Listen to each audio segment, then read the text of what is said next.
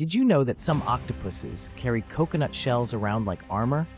Imagine stumbling upon an octopus scooting across the ocean floor, dragging half a coconut behind it.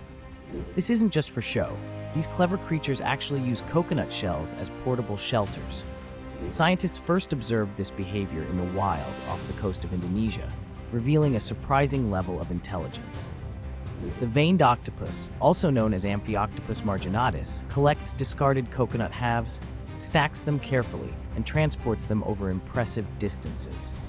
When danger approaches or rest is needed, the octopus nestles inside, using the shell as a protective bunker.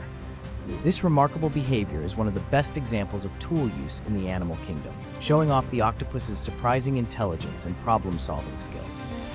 Unlike most animals, octopuses don't just use found objects. They actively plan, gather, and use tools for future needs.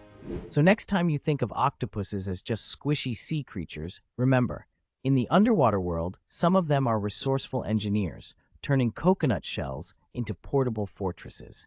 That's one brainy invertebrate.